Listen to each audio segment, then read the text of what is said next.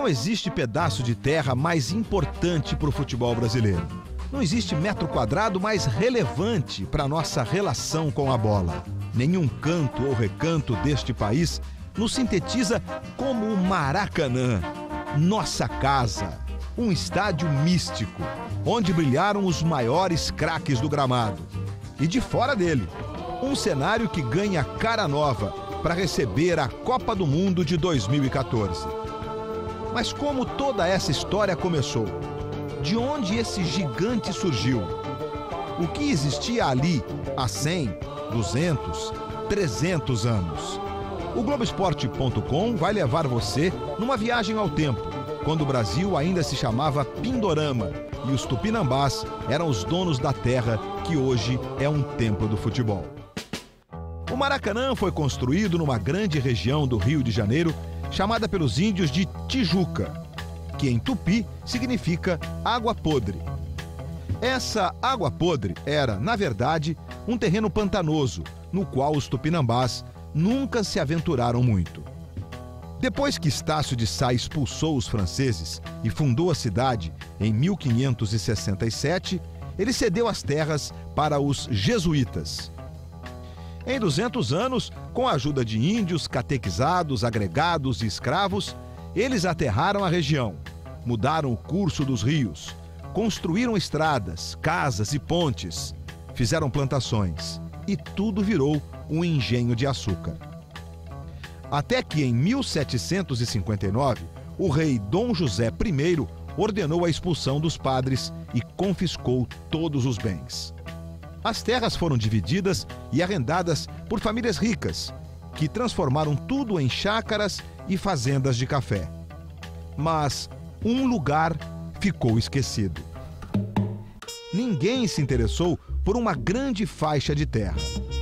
Um clarão na Tijuca deu lugar ao mato e o terreno se desvalorizou.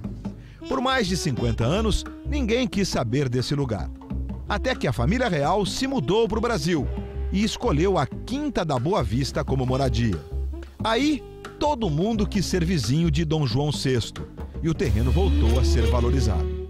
Quem ficou com ele foi Francisco José da Rocha Leão, o maior negociante de pedras preciosas do país que logo depois recebeu o título de Barão do Itamaraty. Após sucessivas mortes, o terreno virou herança.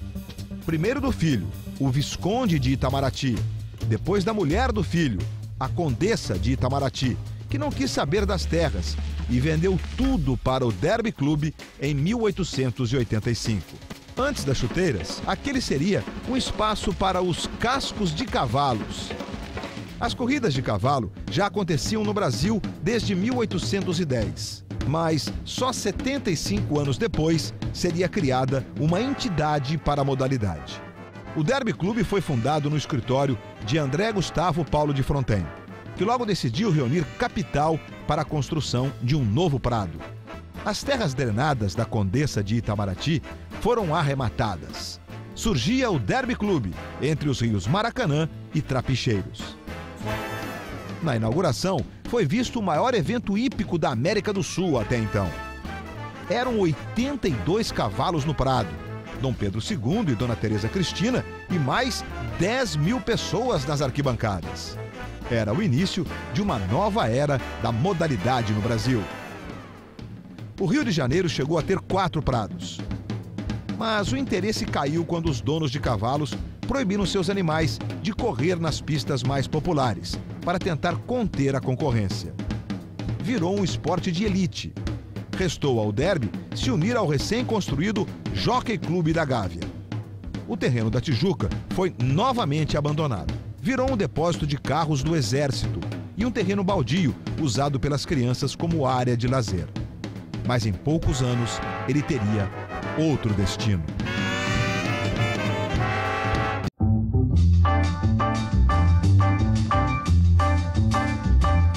1938, o presidente da FIFA, Jules Rimet, visitou o Rio de Janeiro e ficou impressionado com a beleza da cidade.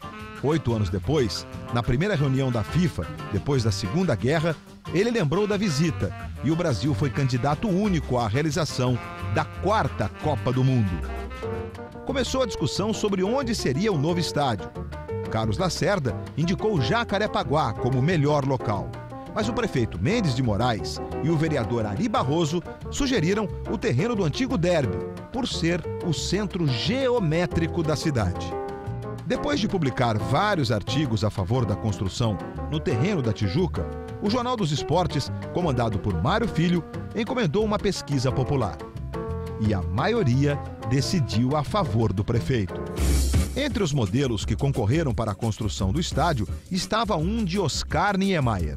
Mas o projeto vencedor foi de outra equipe e o próprio Niemeyer reconheceu que o escolhido era melhor.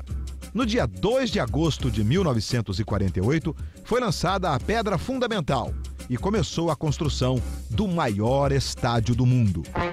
Do projeto até ficar pronto, a obra levou dois anos para ser concluída e teve um custo de 250 milhões de cruzeiros, o que equivale hoje a cerca de 235 milhões de reais. Com 32 metros de altura, o estádio tem um eixo maior de 317 metros e um menor, com 279 metros. Ao contrário do que muita gente pensa, o Maracanã não é redondo, é oval. Antes do fim das obras, Carlos da Cerda espalhou um boato que o estádio ia cair no dia da inauguração. O prefeito Mendes de Moraes para provar o contrário, mandou mais de 3 mil funcionários pularem nas arquibancadas e mostrou que elas eram seguras. Na inauguração, no dia 16 de junho de 1950, Didi marcou o primeiro gol durante uma partida entre as seleções do Rio e de São Paulo. Mas os paulistas viraram o jogo e venceram por 3 a 1. Durante toda a Copa de 1950, o estádio ainda tinha andaimes a segurança e o conforto dos torcedores pareciam não ter sido levados muito em conta. Depois de enfrentar longas filas, alguns deles assistiam aos jogos se equilibrando em pilhas de tijolos. Na verdade, a obra só terminou 15 anos depois, em 1965, quando foi batizado oficialmente de Estádio Jornalista Mário Filho. Antes disso, foi chamado de Estádio Municipal do Maracanã e Estádio Mendes de Moraes. Diretamente do Estádio Mendes de Moraes, irradiando a Rádio Nacional do Rio de Janeiro, Brasil, com a rede de emissoras nacionais controlada pela Agência Nacional. E foi nesse dia, na final da Copa de 50, que o estádio sentiu seu primeiro e maior silêncio até hoje. O Maracanaço, como foi chamado o vazio que se ouvia após a derrota do Brasil para o Uruguai, marcou para sempre a história do futebol brasileiro. Desolação natural da torcida aqui no estado do Maracanã. Mas isso foi só o começo. A bola tinha apenas começado a rolar no gramado do maior estádio do mundo.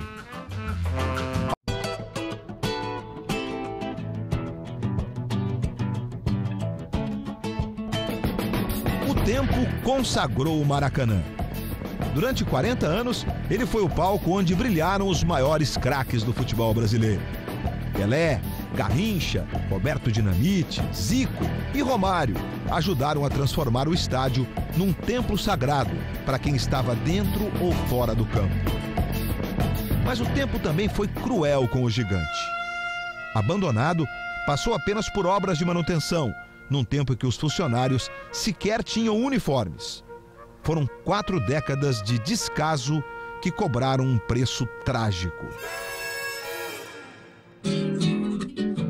Na década de 80, os problemas já davam sinais com rachaduras e infiltrações. Hoje, o Maracanã está cheio de infiltrações, nas rampas e na marquise, onde pedaços de reboco podem cair a qualquer momento. Tem também rachaduras nas colunas externas. Na entrada principal, onde fica a famosa estátua de Bellini com a Gilles Rimet, o aspecto é de abandono sem conservação. Mas o problema principal era o gramado. Depois dos shows de Frank Sinatra, da banda Kiss e de uma missa do Papa João Paulo II, a grama ficou cheia de buracos e com um sério problema de drenagem. O trabalho foi prejudicado porque as plantas do Maracanã não são precisas.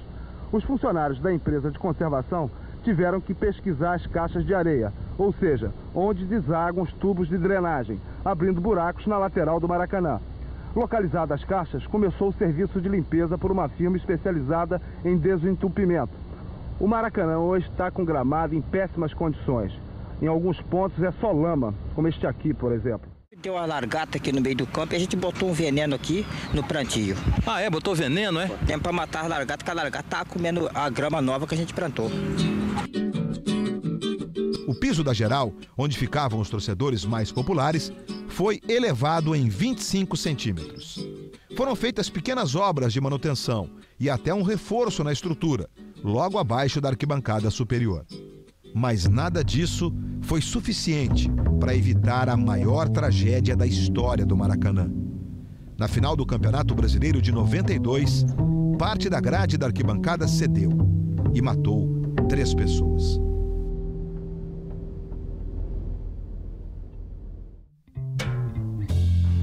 As reformas que foram feitas depois do acidente deixaram o estádio mais seguro para o torcedor mas ele continuou longe dos níveis aceitáveis de conservação. Centro de esportes e de pichações do Maracanã. Quando não é a falta de educação que faz porcarias como nessa bilheteria, é a falta de estrutura, a ponto de um pedaço do muro desabar durante um temporal. E mesmo alguns locais considerados de elite no estádio também sofrem com a ação do tempo e principalmente do vandalismo. As cadeiras azuis, por exemplo, vejam só, só são azuis mesmo nos encostos, porque nos assentos, olha, elas já perderam a cor, algumas estão enferrujadas e outras tantas amassadas. Em 1993, a FIFA fez exigências para a realização do jogo entre Brasil e Uruguai, pelas eliminatórias da Copa de 94. E o Maracanã passou por mais reformas na estrutura. Em certos trechos, o estádio parece em reconstrução. As prometidas cadeiras na arquibancada que vão ficar para o ano que vem por enquanto, os lugares vão ser numerados com adesivos, provavelmente colocados por uma empresa privada que poderá aproveitar a publicidade. Isso porque, segundo a FIFA, sem numeração não tem jogo. Soluções rápidas como essa tomaram conta do estádio inúmeras vezes em 20 anos. Foi feito todo tipo de reforma, mas nenhuma delas resolveu de fato os problemas. E as prometidas cadeiras numeradas de 93 só chegaram mesmo no ano de 2000, quando a realização do Mundial de Clubes da FIFA conseguiu dar vida nova ao Maracanã.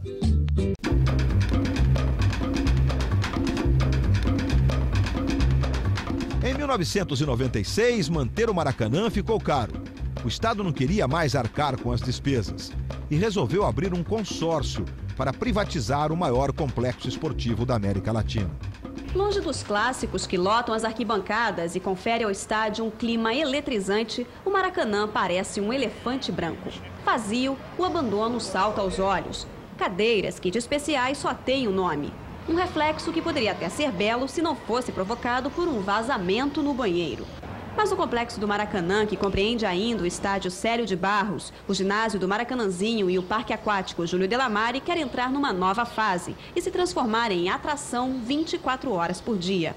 Para isso, a Superintendência de Desportos do Estado do Rio de Janeiro, a SUDERJ, dá o pontapé inicial no processo de privatização. O edital tem regras claras. O consórcio, a empresa que ganhar a concorrência, vai ter 36 meses para colocar a casa em ordem, o que inclui novos placares eletrônicos, redivisão das cadeiras e obras em toda a área, que deve custar mais de 50 milhões de dólares. O edital é muito bem feito, foi exaustivamente visto, revisto por procuradores de Estado, juristas, ele tem o mecanismo de retomada, embora nós não queramos isso. Nós queremos que dê certo. Mas as exigências do edital espantaram os investidores e o projeto nunca saiu do papel. As promessas para o Maracanã reformado ficaram para o Mundial de Clubes de 2000, um projeto ambicioso. Um super projeto do governo do Rio e da iniciativa privada promete transformar o quase vovô Maracanã num enxutíssimo estádio. O Maraca vai ganhar museu, centro de convenções, cinemas, teatros, restaurantes. Ah, sim, os torcedores também terão mais conforto e segurança. O Maracanã vai ser no ano que vem um, um, um modelo de um estádio moderno, de um estádio que tem outras atividades. As obras avançaram, mas nem metade das promessas foi realizada. Em vez de teatros e cinemas, o estádio ganhou um hall da fama e as estruturas das rampas de acesso e marquises foram recuperadas. Além dessa reforma na estrutura, a imprensa ganhou cabines novas e o setor das cadeiras especiais foi ampliado. 50 mil assentos dividiram a arquibancada em setores: verde e amarelo, mais populares, e branco, com melhor visão geral do campo. Também foram criados camarotes no anel superior do estádio. O Maracanã perdeu o status de maior do mundo em capacidade, mas ficou um pouco mais moderno e confortável. Serão 98 camarotes em todo o anel do Maracanã. Os camarotes têm em média 35 metros quadrados, ar-condicionado, geladeira e toda uma atmosfera de mordomia. Todas essas reformas custaram 106 milhões de reais. Um valor que parece alto, mas é bem abaixo do que ainda seria gasto nas reformas para o PAN de 2007 e para a Copa de 2014.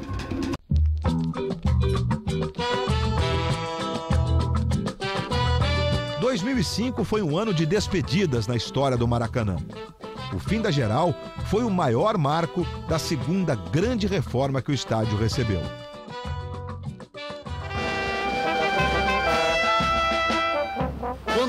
Sinfônica do Corpo de Bombeiros do Rio de Janeiro se retira, o Maracanã fica ao som de um desafinado instrumento. A britadeira. O antigo lugar chamado Cadeiras Numeradas e a antiga geral vão se tornar um único local, ocupado por 45 mil assentos. E os primeiros operários a começar esta transformação são todos ex-geraldinos.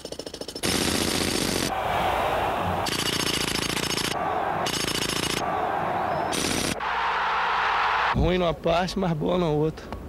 Boa porque a gente está trabalhando, o serviço está difícil.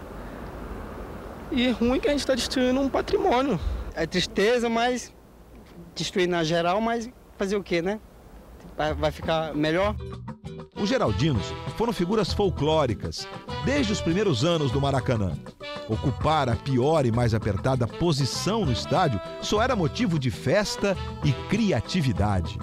Na geral, tinha música, tinha craque, fotógrafo, artista, até anjo. Era uma festa, principalmente quando os jogadores escolhiam comemorar com eles um daqueles gols inesquecíveis. Para os Geraldinos, valia a pena ficar descalços no calor, na chuva, ter que esticar os pés para ver um pouco o que acontecia no campo. Só não valia acabar com a geral. Nem mesmo este pedido dos torcedores fez a FIFA mudar de ideia. A reforma levou a geral, mas as histórias e personagens viraram um patrimônio do Maracanã. Parte dessa reforma foi feita sem o fechamento do estádio e deixou o Maracanã mais moderno. Foram instaladas cadeiras no lugar da geral. O gramado foi rebaixado em 1,40m. Foram criadas novas rampas de entrada e os acessos às arquibancadas superiores foram aumentados. O ginásio do Maracanãzinho também ficou todo novo. Ganhou sistema de ar-condicionado, novo piso, novos vestiários e banheiros. Depois das obras, o estádio aumentou a capacidade, ganhou mais vagas no estacionamento e se despediu de outra marca registrada, o placar eletrônico. Inaugurado em 1979, num jogo entre Flamengo e América, ele foi o terceiro placar da história do estádio. O primeiro, da Copa de 50, totalmente manual, já tinha sido substituído nos anos 60 por um mais moderno. Mas o que ficou na memória do torcedor foram as animações que divertiram e informaram o torcedor desde o gol de Reinaldo do Flamengo, que mereceu uma homenagem. Em 2007, num jogo entre Botafogo e Náutico, ele se despediu. Em seu lugar, para o PAN de 2007, foram instalados dois telões. Os equipamentos de alta definição foram instalados atrás de cada gol e são grandes, têm 6 metros de altura por 10 de largura. Depois dos jogos, os telões ficam definitivamente para o estádio. Tudo isso para receber os Jogos Pan-Americanos de 2007. O total gasto com essas reformas chegou a 304 milhões de reais, com a justificativa de que o estádio já estaria pronto para receber a Copa de 2014. Mas não foi bem isso que aconteceu.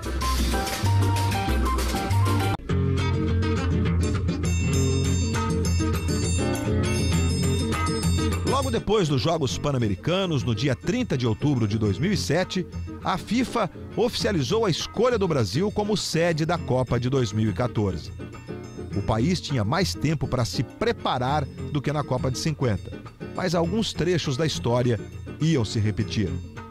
Apesar de o estádio ter acabado de passar por uma reforma, foi decidido que ele agora teria uma cobertura. Pensou-se até na implosão do Maracanã, mas finalmente resolveram preservar a estrutura tombada pelo patrimônio histórico. As obras demoraram a começar. Em março de 2009, foi dado início à primeira fase, com avaliações no terreno e no entorno. Só no final do ano foi apresentado um projeto que mantinha a marquise original com o custo de 600 milhões de reais. Esses dois anos, sem mudanças no estádio, acabaram em críticas da FIFA. A Federação de Futebol afirmou que as obras para a Copa de 2014 estão atrasadas e incluiu o estádio do Maracanã entre os que não estão cumprindo o prazo. Três meses depois, em março de 2010, finalmente começaram as obras, ainda sem o fechamento do estádio. Mais de um ano depois, em maio de 2011, uma comissão avaliou que a marquise estava deteriorada e isso traria um custo maior, perto de um bilhão de reais. No início da reforma, não foi apontada a necessidade de substituir a estrutura. Mas agora, a decisão é construir uma nova cobertura para o Maracanã. O governo do Rio garantiu ao Tribunal de Contas da União que as mudanças não vão alterar o prazo de entrega do estádio, dezembro de 2012. Mas não foi bem isso que aconteceu. Cada vez apertando mais, agora nosso planejamento dá, acompanhando o planejamento. 28 de fevereiro estamos entregando a chave aí para a FIFA, para a Copa das Confederações. Nunca falei que a obra ficaria, entregaria a chave em fevereiro. Nunca falei. As obras ficariam prontas, que eu estou falando várias obras prontas, tá? E que ao longo de março e abril nós íamos entregando para a FIFA. Hoje, a empresa de obras públicas do estado informou um novo prazo limite para entregar a administração do estádio à FIFA, 28 de maio a apenas 19 dias da primeira partida da Copa das Confederações no estádio. Para entender todas as mudanças feitas, vamos voltar a setembro de 2010, quando, depois de um jogo entre Flamengo e Santos, as redes foram retiradas e o estádio foi definitivamente fechado para a maior de todas as reformas pelas quais já passou. O Maracanã foi quase todo desmontado. Primeiro foram retirados todos os assentos. Depois, o local onde ficavam as cadeiras azuis foi quebrado, seguido de parte das arquibancadas superiores. Foi deixada apenas a parte mais próxima das colunas de sustentação. Em seguida, o gramado foi totalmente retirado e a marquise começou a ser desmontada. O que restou das arquibancadas foi por fim demolido, deixando um grande esqueleto, preservando parte da arquitetura original. A partir daí, começou a restauração dessas colunas e das duas rampas monumentais. Além disso, foram criadas mais quatro rampas de acesso ao estádio. A montagem das novas arquibancadas foi dando vida ao novo Maracanã, que ganhou um formato de arena. Enquanto isso, ao redor de todo o estádio era instalado um anel de compressão para sustentar a nova cobertura, junto com 20 quilômetros de cabos e 4 mil toneladas de estruturas. A nova cobertura tem 60 metros e protege a torcida da chuva e do sol. A nova grama é do mesmo tipo usado no Camp Nou, o estádio do Barcelona. Ela foi cultivada durante cinco meses em Saquarema. Depois, foi cortada e instalada no Maracanã. Mas até terem sido concluídas, as obras passaram por momentos tensos, como as greves dos funcionários que exigiram reajuste salarial e o alagamento do campo e da cobertura depois de uma forte chuva que caiu no Rio de Janeiro no início de março de 2013. Quando os portões se abrirem e o torcedor entrar no novo Maracanã, ele vai ficar mais perto da linha lateral do campo. Só 13 metros. Os novos camarotes são luxuosos e todos os assentos têm 100% de visibilidade do campo. Os operários trabalharam dia e noite para entregar um estádio novo, moderno, mais confortável e seguro para o torcedor. Depois da Copa de 2014, o próximo capítulo desta história será nas Olimpíadas de 2016, quando o Maracanã vai ser o palco das cerimônias de abertura e encerramento. A dúvida que surge é se até lá outras exigências vão aparecer para mudar de novo a cara do estádio mais importante do futebol brasileiro.